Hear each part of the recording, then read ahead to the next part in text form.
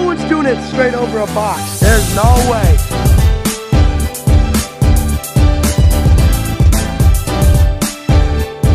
God, that is so sick! You're the only one doing that in the world and you're killing it. Oh, this is legit. Hey guys, Michael Pytel here. Today I want to go over some of my favorite world's firsts over the years. Now, the first one I'm going to talk about is actually one of the most recent ones. In the beginning of this year, I think it was January January 8th is when I posted it. Um, I posted this one up on my Instagram. This is actually a trick that started off as a joke and ended up being one of the favorite things that I've ever done on my scooter.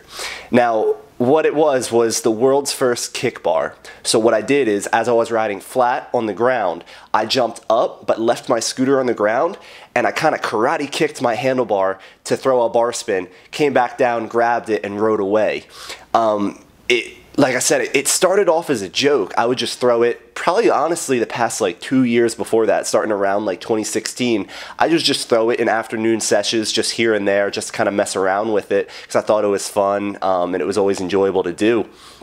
And, uh, and then one time I was hanging out at the ECX Scooter Shop warehouse uh, one night with uh, my friends uh, Nick Tedrick and uh, Davin Horner. And I did it in front of Nick. And he was like, yo, you got to get that right now. And uh, so I'd never actually like been as determined as that night to get it. I probably did it at least 30 different times until I finally stuck it. I'd gotten close a handful of those and uh, when I actually landed it, like landing a new trick in general is super fun, but landing a trick that I hadn't seen before, um, that was just like, to me, just really interesting it, it, was an awesome feeling. So that definitely goes down in the books as one of my most enjoyable things that I've ever done. I throw it here and there, but you know, even though I've landed it, it's just so unpredictable and so inconsistent that like, no matter what, every time I land it, I get super stoked on it. it it's not like a like a tail whip where once you learn it, you you know you dial it in and you have it pretty set. Um, it's it's it's an interesting one for sure. And the cool part about it is it's not that hard really if you devote some time to it. So a lot of people, and after I did it, Nick actually went and did it, and his looked amazing. He put a little bit more time into the filming of it. He was outside. The scenery looked a lot better as far as Instagram video. And Nick, as a rider, is one of the best in the world. So his video got a ton of views. And between the two of us posting that on Instagram, I did see a lot of you guys go and try it. And if you haven't seen that, I'm to post a clip right there.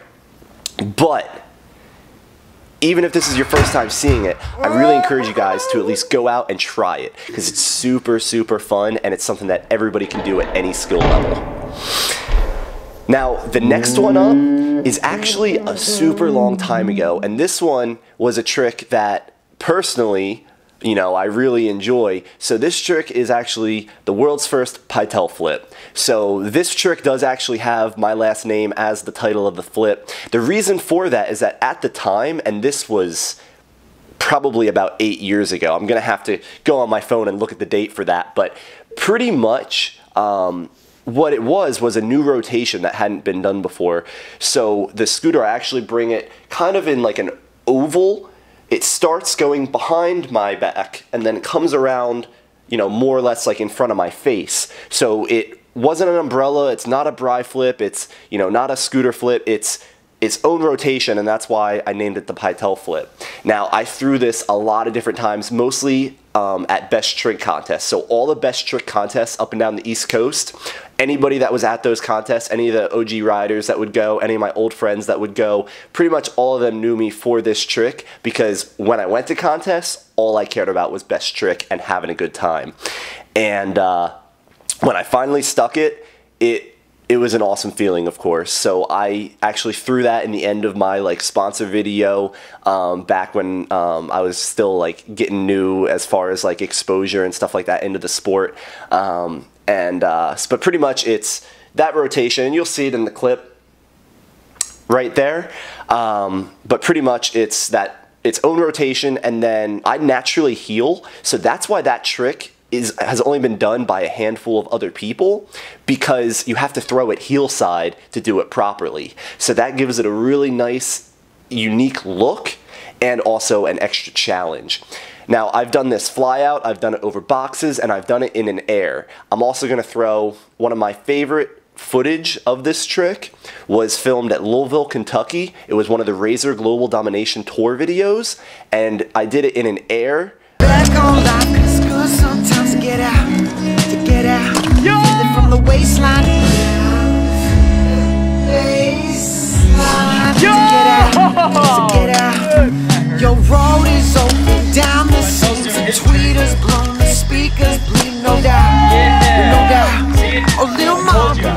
Actually ended up winning best trick with it, so that was awesome because I believe that was the first time that I landed it in competition. Um, before I'd landed it on film and posted the video and stuff like that, but this was the first time because best tricks and at a contest, the hype of that, the feel of being around other scooter riders, like-minded people, having that kind of environment is is unspeakable. You know, it's something that you can't really describe. What was he doing? A buttercup? A 360 buttercup? No, no, no, no, no. This is what he was doing. The Pytel flip. He has created, Michael has created his own trick here. I want you to send it, Michael. Look how crazy this is, bro. He's the only one in the world that's sending this.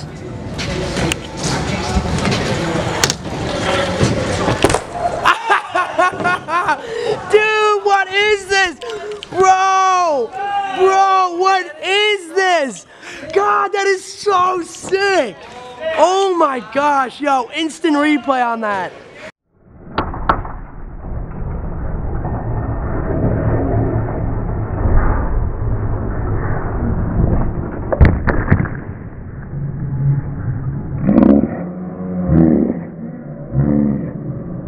Oh my god, I gotta give you props. You're the only one doing that in the world and you're killing it. been like four people that have done it, but like I. There's I don't know. no one that does it like you. I've seen one on Instagram.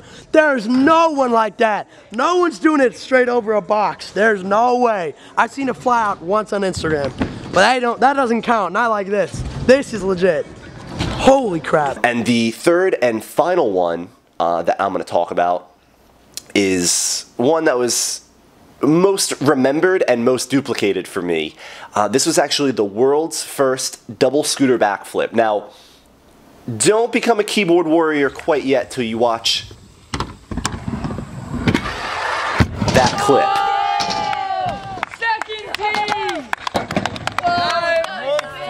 Second team! Now, what I meant by double scooter backflip was not that I rotated twice.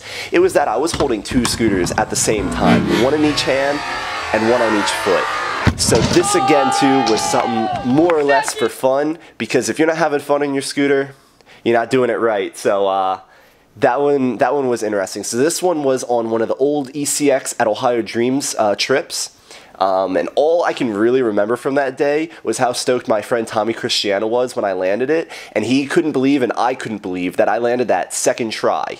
Now, I did into the foam pit a few times, but at Ohio, there wasn't really a good flyout for dropping in with two scooters.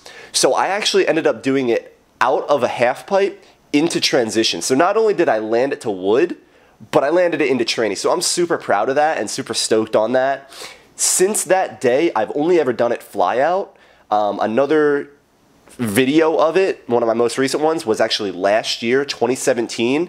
Same trip, but after Ohio Dreams, we actually went to Changa Skate Park, which is only an hour away from camp at Ohio Dreams. And I did it fly out. I was riding with John Cross. We were doing Instagram uh, videos, and uh, I'm gonna roll that clip. You ready? All right, Michael, I'm ready. This is number two.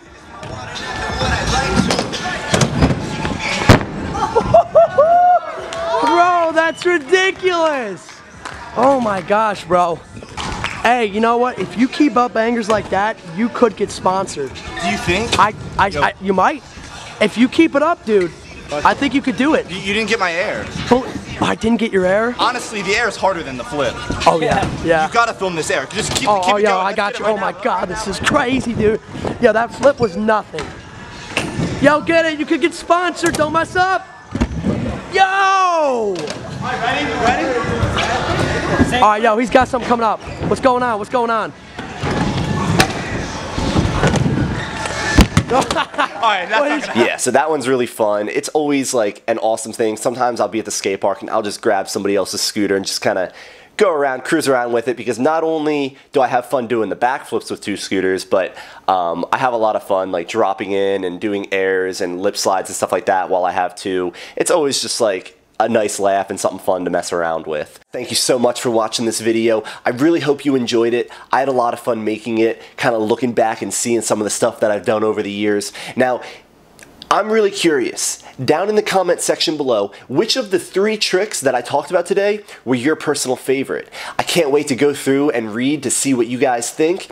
And if you really like this video, please hit that like button, go ahead and subscribe, and then tell your friends, and I'll keep making videos like this. I'll keep making riding videos and other types of videos. I got a lot of stuff planned.